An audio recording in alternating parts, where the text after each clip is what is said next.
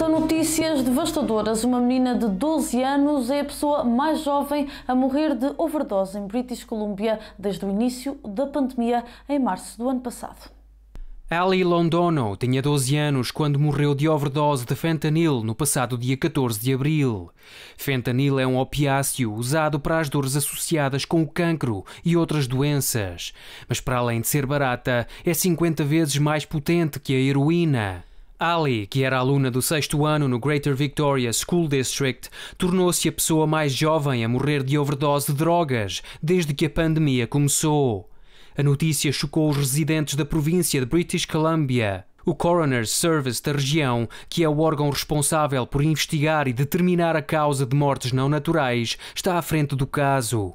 A mãe de Ali disse que a sua filha começou a usar drogas no outono de 2019 e daí resultaram três overdoses. Além disso, tentaram uma clínica de reabilitação para a jovem, mas a tenra idade foi uma barreira para a ajuda que necessitava. E o problema persistiu.